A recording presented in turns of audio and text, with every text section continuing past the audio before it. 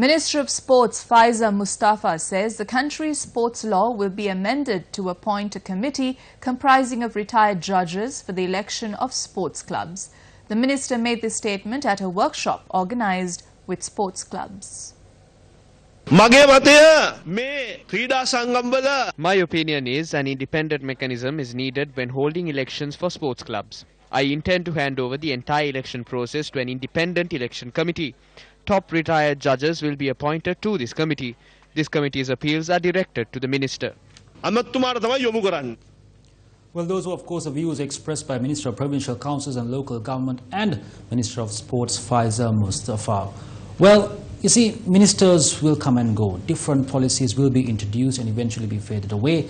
But what is saddening is the fact that the state of sports in Sri Lanka, cricket in particular over the past couple of years, have been the same in a dismal state of affairs.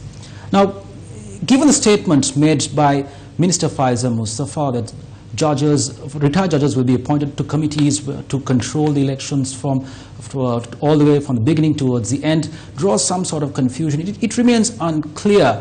And also, you see, if, if you really look at it, the multiple yorkers and bouncers and so on and so forth, bowled by a bowler at a batsman may be, may be troubling at times to rattle the batsman. However, given the current state of affairs, it appears that both the bowler and the batsman seem to be on the same team. So one could assume that both Faiszer Musthapha and Thilanga Sumathipala, the former president of Sri Lanka Cricket, are on the same team, given the outcomes, given the recent uh, situation surrounding Sri Lanka Cricket.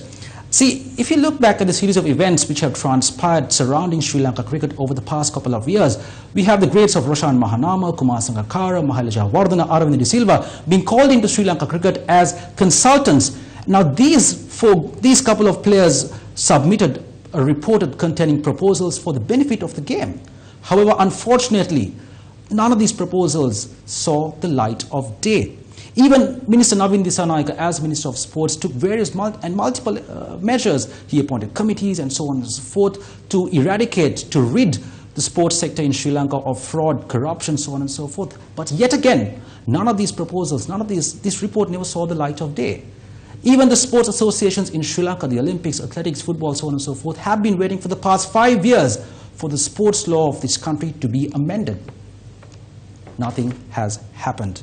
The, the question that we have to ask now, it begs the question, is this yet another chapter of an extended drama? Our plea is simple and basic for all Sri Lankans. Bring in new laws which will stop, which will bring a full stop to money being circulated when it comes to sports elections, be it Sri Lanka cricket, football, so on and so forth. That is all we ask.